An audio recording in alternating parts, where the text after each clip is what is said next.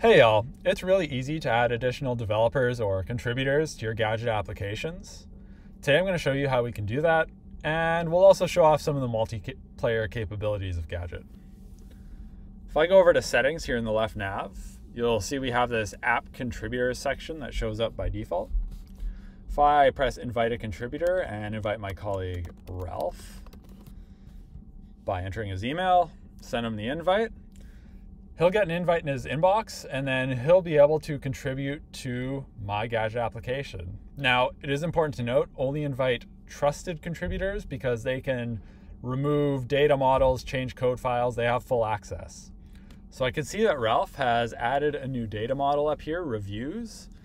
We have a, a review field that he's added, as well as a code snippet. So he's actually adding some code to our create action here.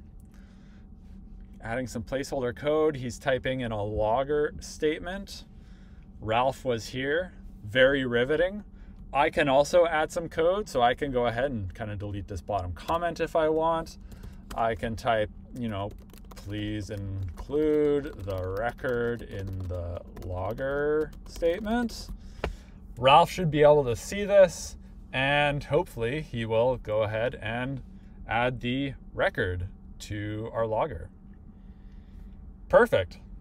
So that works great. So this is just a quick example of how multiplayer and contributor invites work in Gadget.